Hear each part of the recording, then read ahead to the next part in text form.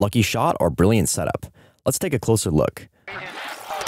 Within 15 seconds of round 1, Khabib establishes the takedown threat. He gives a slight head feint and drops levels. McGregor is a southpaw, so Khabib shoots for his lead right leg.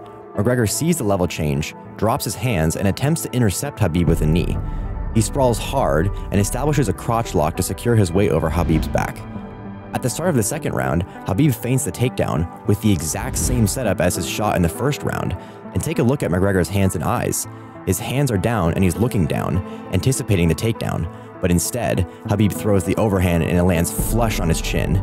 Khabib is one of the best grapplers we've ever seen in the UFC, and he brilliantly used his takedown threat to set up a devastating shot.